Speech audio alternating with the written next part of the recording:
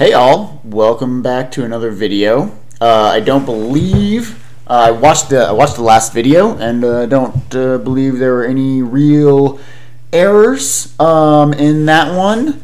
So uh, yeah, we're just gonna get back into this last couple lines of code in main and hopefully finish up our analysis of this config program today. So uh, let's just get right into it. Um, this um, this is where like you know we've taken all of our data you know we've um, you know we've read all of our data from the configuration files and machine file machine definitions files or whatever in yyparse we've you know massaged it um, handled it checked it for errors packed it down done a bunch of stuff and now is where we're gonna write it out. Um, so let's just start with make symlinks. Um, make symlink, um, make symlinks uh, rather, um, is just going to make um, these um, the symlinks that are in this file. So this AMD64 um, and machine are the only two symlinks that get made. Um, oh, dang it. Um, ah, no. Um, uh, I messed up. Um, nope.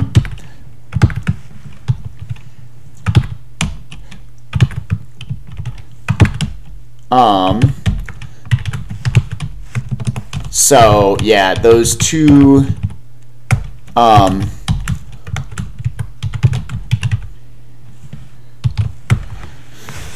So yeah, AMD 64 is just a symlink to uh, machine, which is just in its same directory, and machine is just a symlink to the uh, particular machine uh, specific include files. Um, so that when you include like machine slash some header file in the kernel, it points to the appropriate machine include file.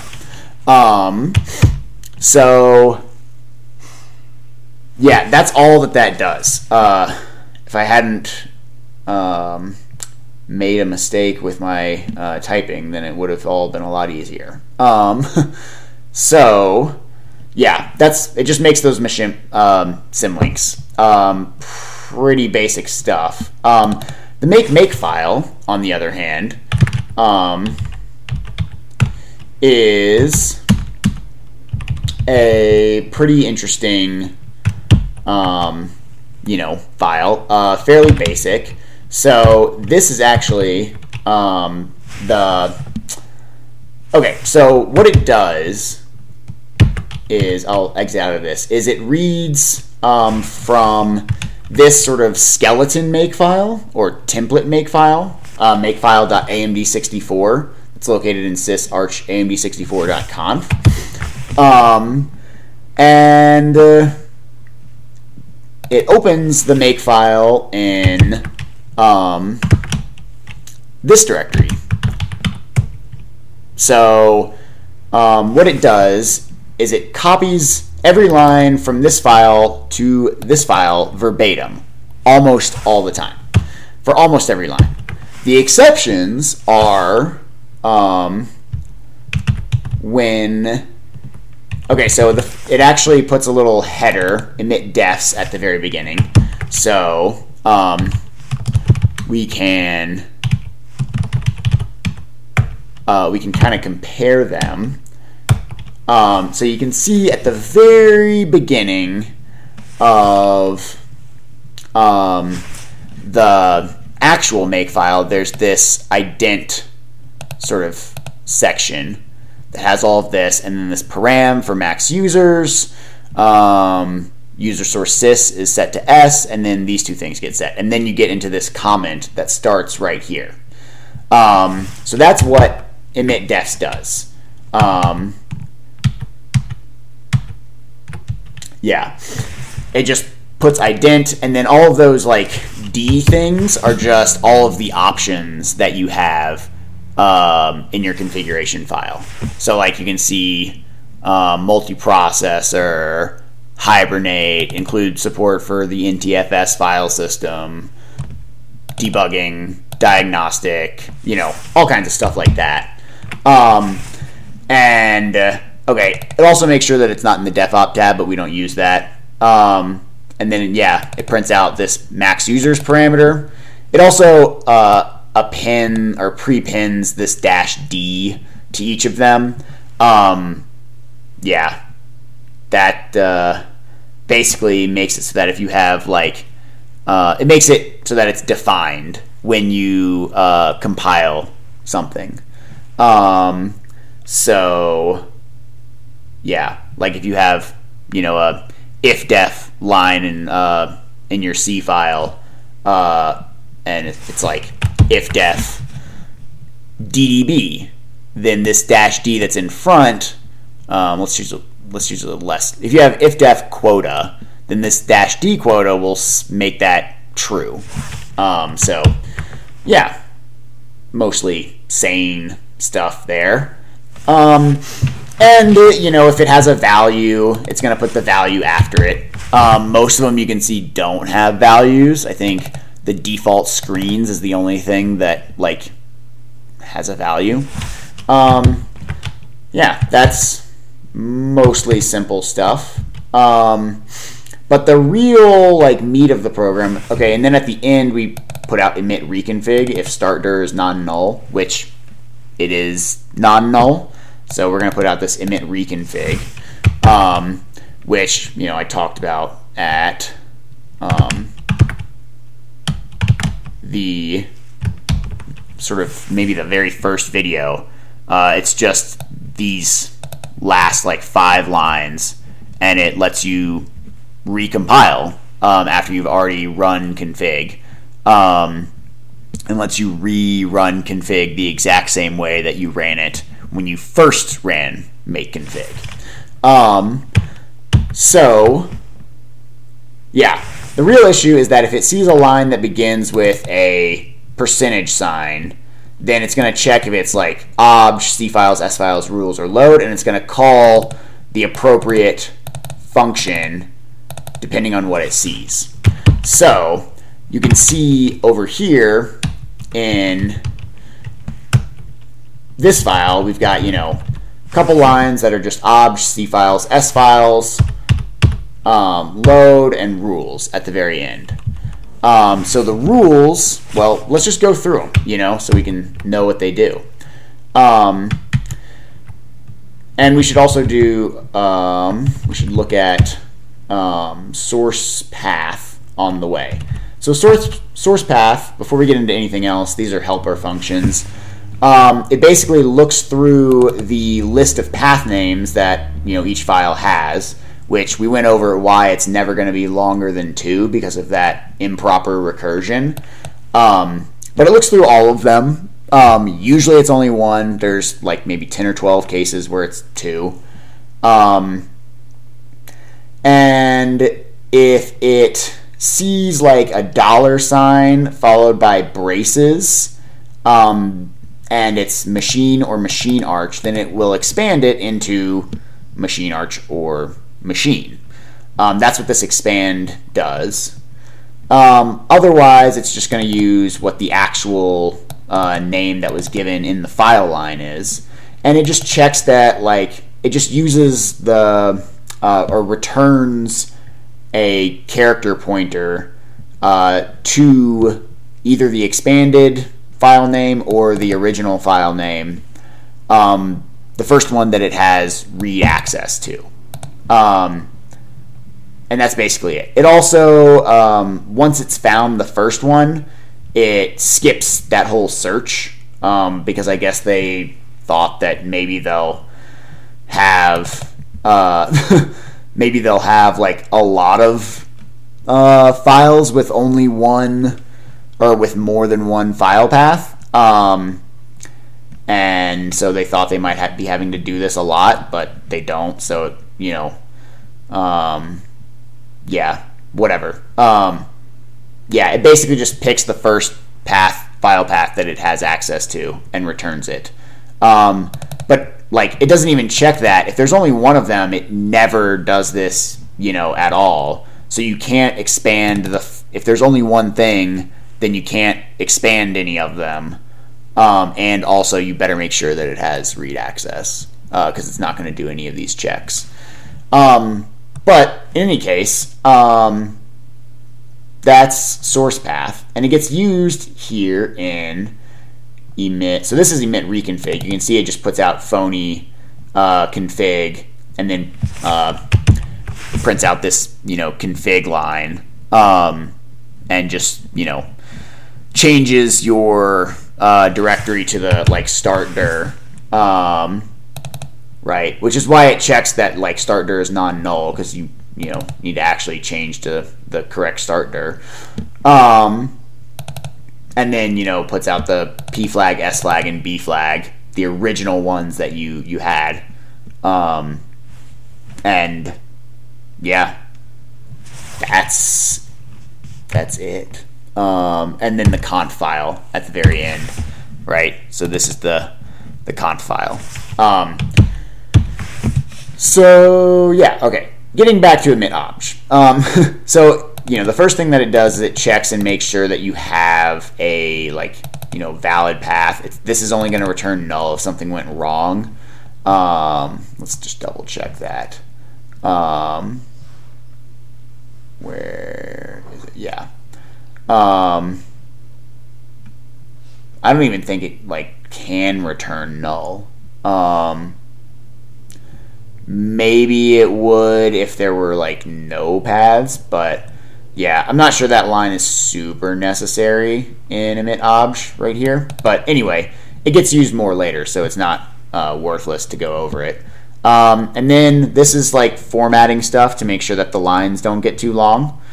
Um, and it just prints out the file base uh, followed by .o um, after printing out like obj.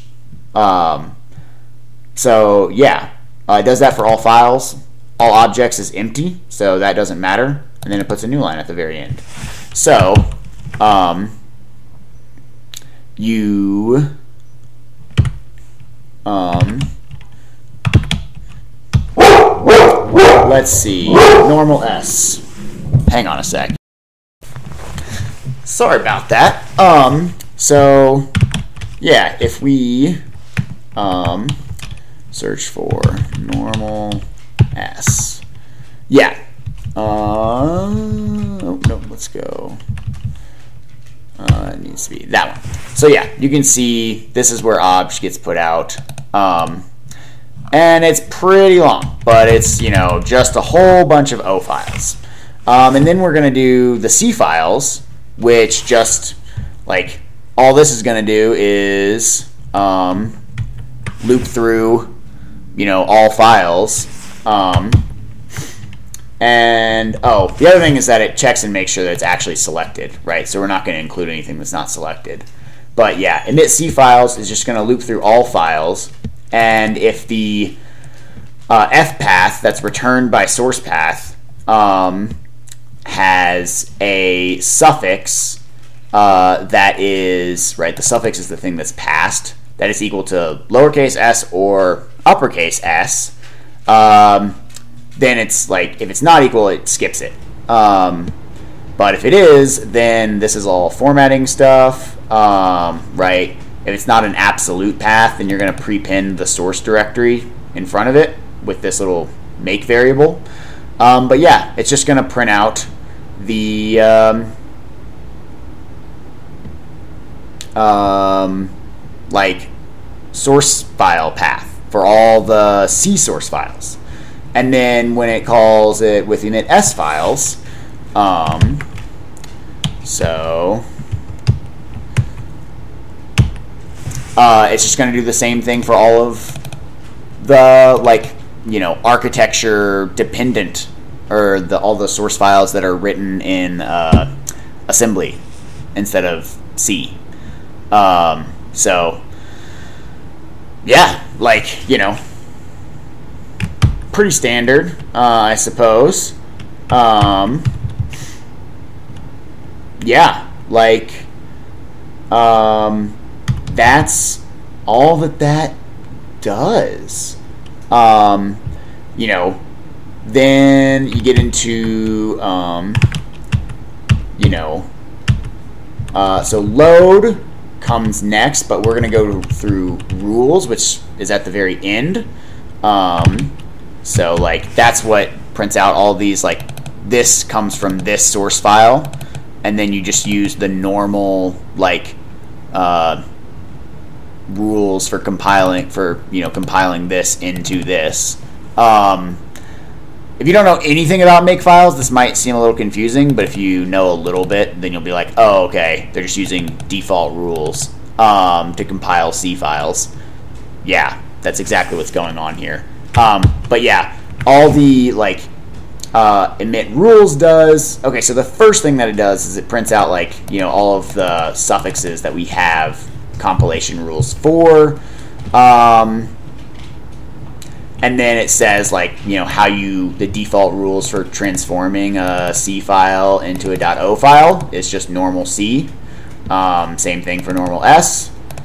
Um, and then what it does is it loops through all files, takes the selected ones, and you know finds its source path, and then um, you know if there's a special make rule, then it calls this func uh, this emit one rule but none of these have special make rules. Um, so it just prints off this like .o from like .s file.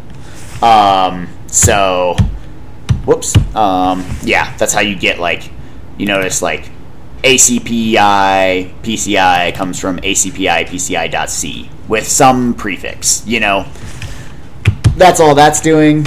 Um, and then, yeah, the load command um,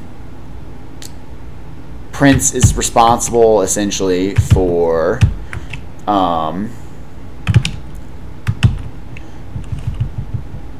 so um, let's do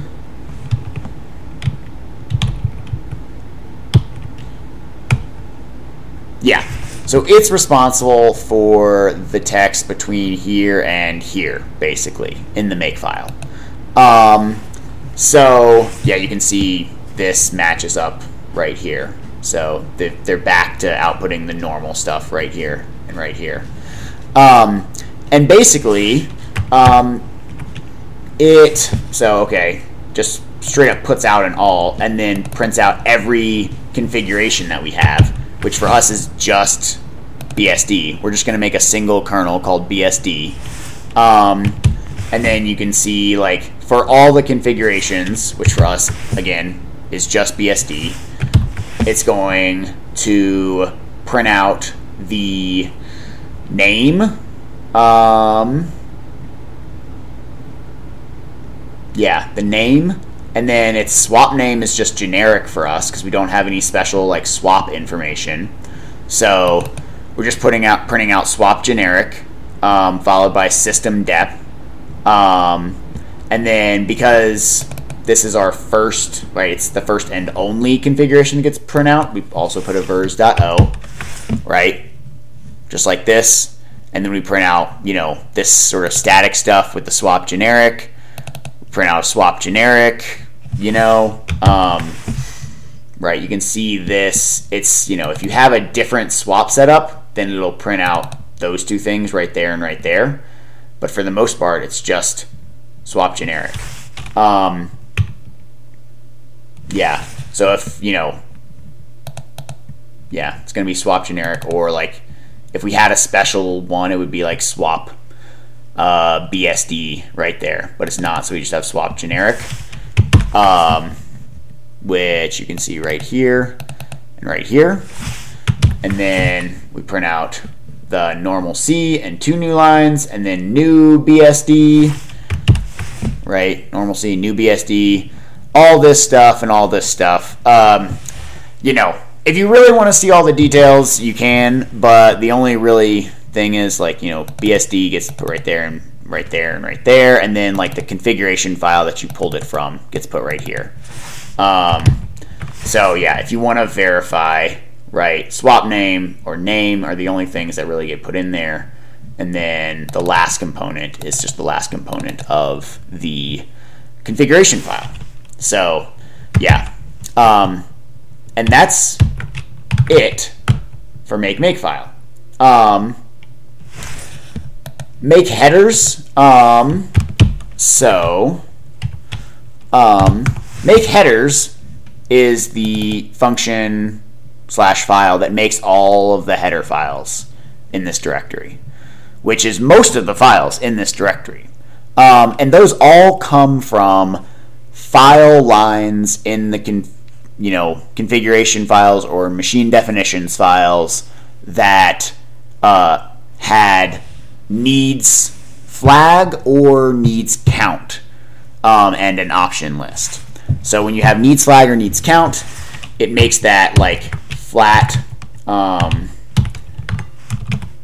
it makes that flat list. Um, and uh, yeah, this basically just prints out a file that has a like capitalized version prepended with an in right? So down here you can see like we this is where this count name just changes this to like changes whatever was in the option to an uppercase uh, version of itself with an N in front. Um, so like if we look at what was the one we saw? Um, I think it was HCI yeah. Um, so like it's just an in with a capitalized version of whatever was like whatever the options were, and then you know a one right. So this is probably a needs flag one. So a one or a zero depending on whether or not this option was in the select tab. Um, and option, I'm using the word option loosely, whether or not this thing was in the select tab. Um, and so, um, oh no, doesn't need to be fgrep, it needs to be regular grep. Um, actually, I want two through nine. Um, and anything that ends in an H file. Yeah. So, yeah, I think this is the only one where like I'm sure that there's a needs count. Um, but yeah, if we less, uh, this one probably had a needs count. Um, so yeah, the number of like pseudo terminals, I think, is what this is. Um, so yeah, um, but it. Um, I mean, let's go through it just a little bit, I guess. Um, real quick, hopefully, um, because make IOConf is the hardest one. Um, yeah, we just loop through all the non-hidden files uh, that have needs count or needs flag set, and then we call emit count on the flattened option version. And emit count just goes through that, and it well, so it first opens a file with the same name.h as the first thing in the list. So um, if you look like if you look in any of these header files, the first thing, so like let's look at audio, or the first thing is going to be in audio. Um, so it opens up a file with the same name as you know the first head name or the name of the first element in the NV list. Um, opens it up for tries to open it up for reading first, and if it can't, then it goes immediately to writing. And it checks it does some like checking to try and like not have to rewrite it if nothing's changed. But if anything has changed then it just rewrites the whole thing um, with the nv list.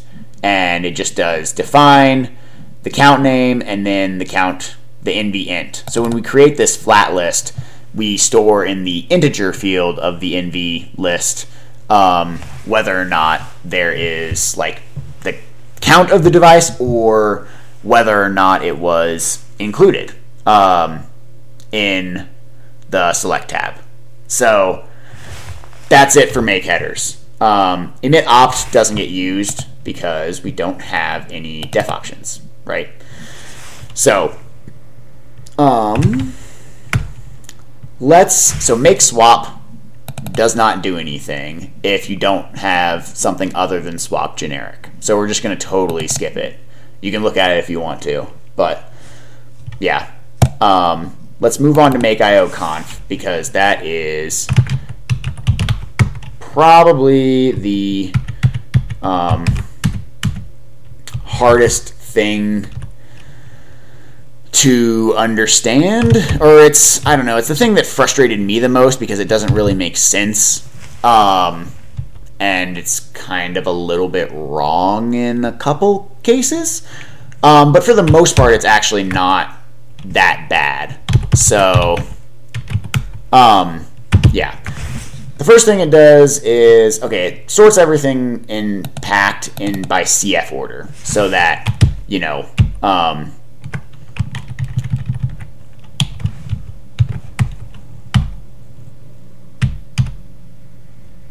oh, CF data. Um, so that like this array essentially goes in this order, right? You can see in these comments.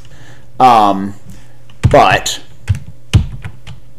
the first thing that it does is it like you know emits this header, right? So it's just ordering by CF index of the uh, devices in packed. Um, and this like emit header just spits out this little comment, and then if there's this ioconf.include thing, then it will, um, I think, basically just write that into it, but otherwise it just includes these two things, and we don't have this, so we just have those two lines, which you can see right there. Um, and then we call emit externs, um, which is just going to loop through you know, all bases. Um, oh, I thought that was called all dev bases. I'm pretty sure I've said that earlier, but it's actually just called all bases. Um, but yeah, and it checks if the dev base has any instances um, with, you know, any instances at all because we're passing wild here. If we passed like an actual number here, then it would check if it had, if it had any instances that were uh, had that same number. Um, and if it doesn't, we skip this dev base. But the way that you check if you have any dev base, if the dev base has instances, is you check if the deva has instances. And the way that you check if the deva has instances, if you're wild, is you check if the deva just, if its instance pointer is non-null. Um, otherwise, you loop through all of the deva's instances looking for one that has this same number that you pass. But that doesn't matter for us because these are just passing wild both times. Um, but yeah, loop through all bases, and we just print off, right, for every dev base, we print off the, a line that says extern struct cf driver, and then the dev base name followed by underscore cd. Um, oh, nope. Take me to the next new line, or empty line. And then, right, so once we're done with all the dev base, all or yeah, all dev bases, but it's called all bases. We go through all devas, um, any that have instances, right? Which means that, well, I already went over that. Um, we create an extern struct cf attach with the name of the attachment followed by ca. So in most cases, this like the driver name for the like driver name is the same as the or the base name is the same as the attachment name, but there are a couple of exceptions. So um, you can see there's just one COM driver, um, but there is a if I can ever get oh yeah so there's like both a COM like there's a COM PCI attachment um, there's a COM PUC attachment. Um, there's a COM card bus attachment. There's a COM PCMCIA attachment. And there's a COM ISA attachment. Um, so, yeah, there are some cases, mostly with just that one, I think, where, you know, you've got some differences. But, yeah, this is really pretty basic. uh, emit loc, like we did all of the hard work. Loc is what gets called next, by the way. Uh, we did all the hard work for this in packed, and we just write out the uh, like locators that we packed into this locators uh, vec. Right. This is like the number of them, and this is what they actually are. Um, so. Um, yeah, it's just right here. I've already talked about it in the packed video. Um, but yeah, that's where it gets put out. Um, and then there's this other stuff that it puts out. Um, yeah, which I don't believe is even dependent on anything. Yeah, it just straight up prints all this other stuff. Um, it doesn't even depend on anything. Okay, this is the part that frustrates me because uh, it's just not right. Um, I don't think it matters much. So, okay, what, like, we're getting into um, the loc names. So, um, these are all of the locator names, and actually, so this is where, like, they originally get put out. Um, and this right here is the locator name pointer vector or array. Um, and so uh, I've copied and pasted and then sort of like rearranged all of this into something that's a little bit more easy to see uh, over here. Um, oops. So yeah, this loc names, and you can see I'm like down at the very bottom of the file down here. So I'm just going to skip that closing brace. But yeah, I've labeled so that it's a little easier to count them. But like this is supposed to be a like sequence of pointers into this array.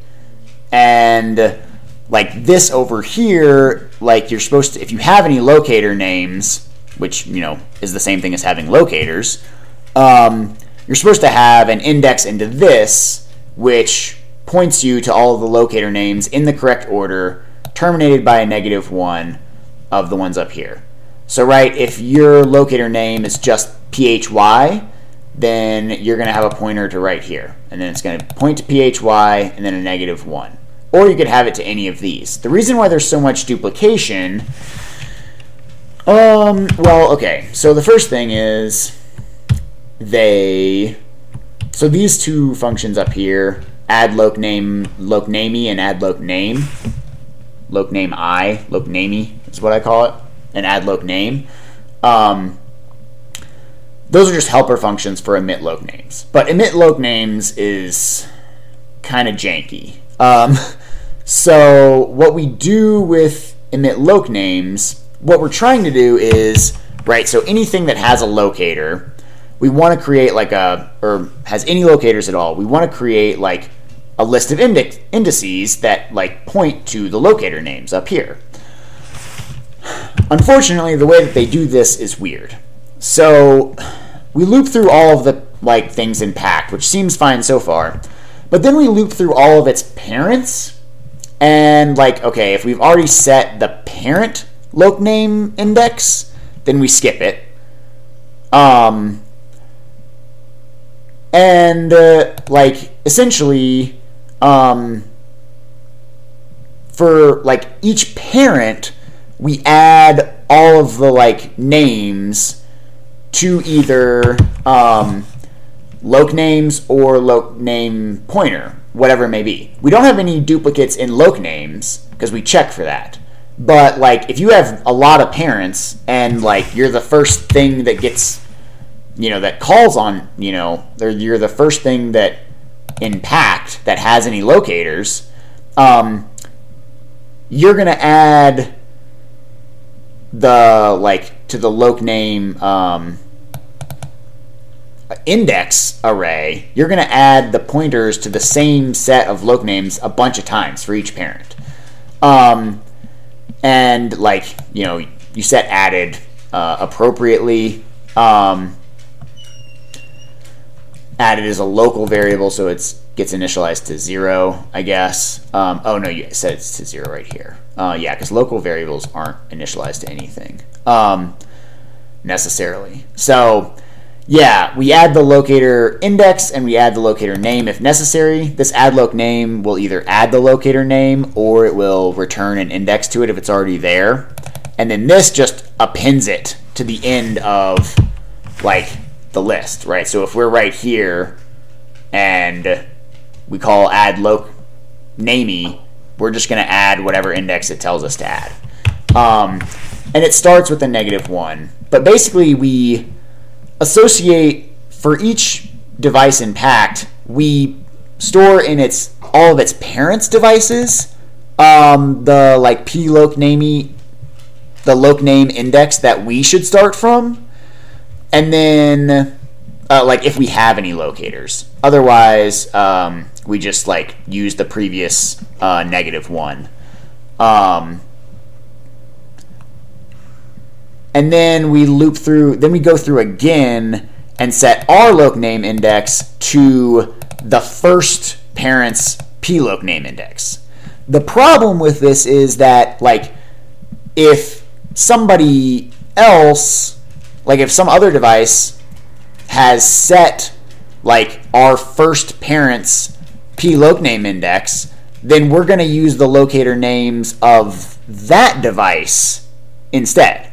And uh, this actually causes problems. Um, it actually gets things wrong, um, which I'll show you in a second. But once we're done with that, then like the rest of this is pretty easy. We just like print off all of the loc names that we just created, which go right here.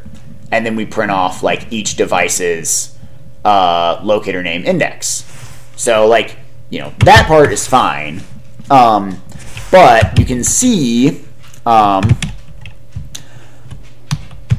I'll show you a couple examples. So um, the first thing to be at um, WDC0 is atapiscsi, and its locator name is channel. But then right after that, there's a like WD star device whose first parent is WDC0, and its locator names are channel and drive. So if you look at the like, um, okay, so let's look at the locator name index for atapiscsi. Notice that these two are the same. Um, so if you look at 102 over here, this is 104, so this is 103, this is 102. 102 um, points to 3, which is just channel, right? So it gets it right for atapiscsi, but then for WD star, um, it's missing this drive one. It should say 3 and then 17.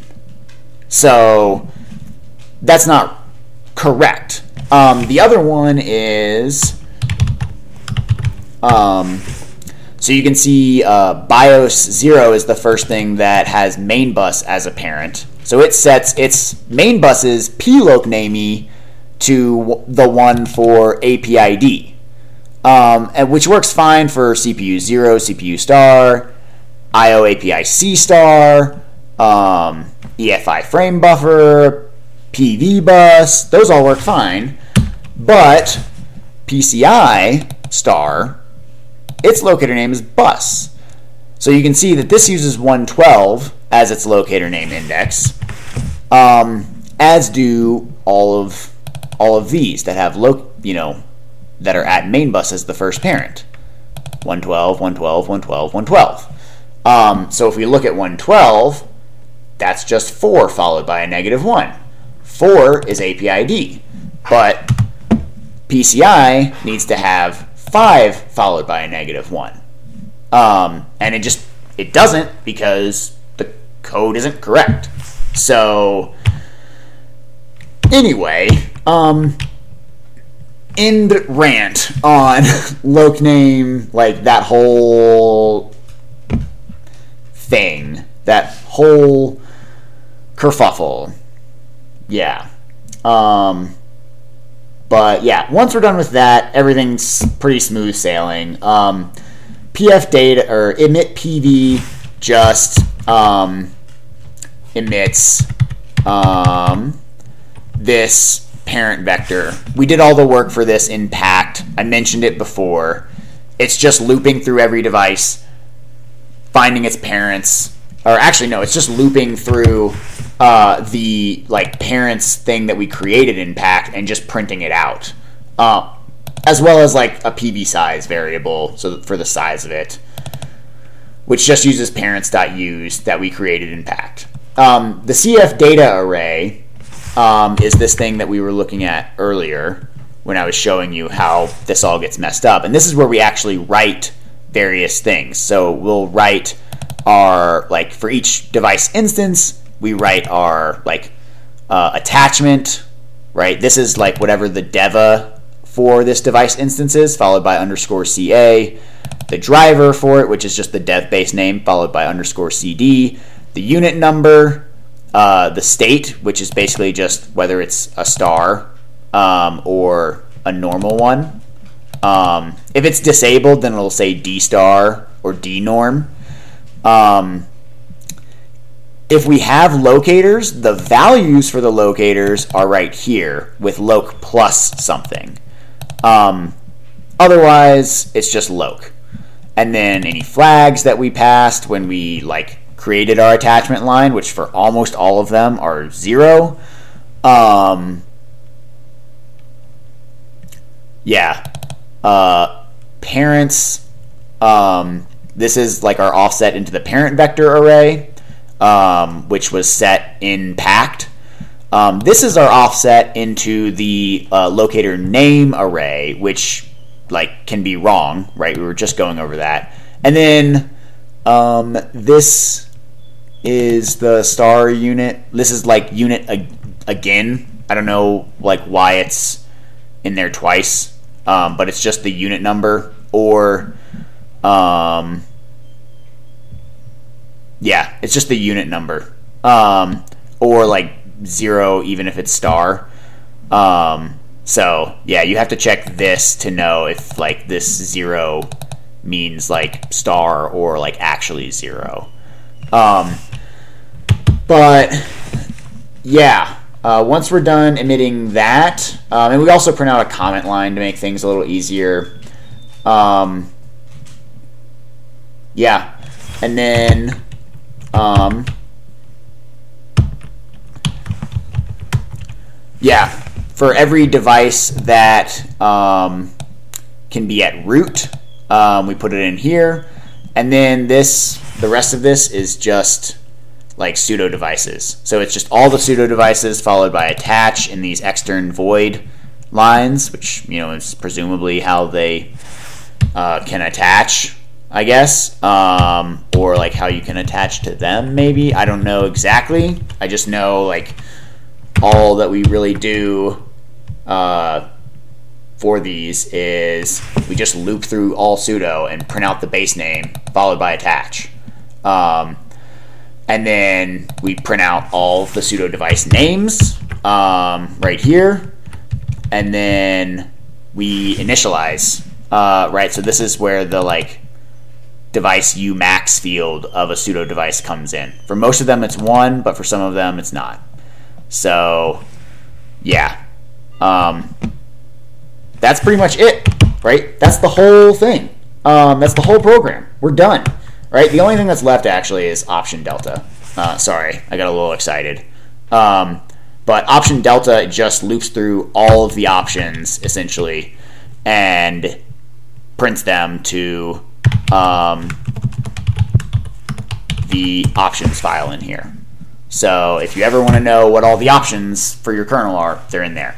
Uh, actually, it checks to make sure that it hasn't changed before it prints them all out. But yeah, uh, that is it. That's the whole program. Um, I might make one more video on it just to sort of like see if I can make a 10 minute video that is an overview slash preview slash review of all of this.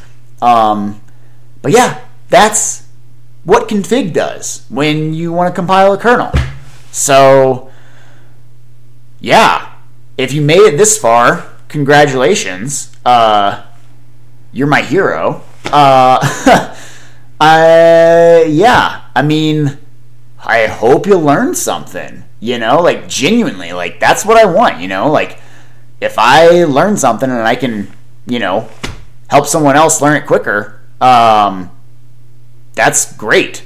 So, yeah, thanks for watching. Um, next, I think my next big project is going to be starting to look at uh, some device drivers, like for the keyboard or a mouse, um, and seeing if we can't understand some of that.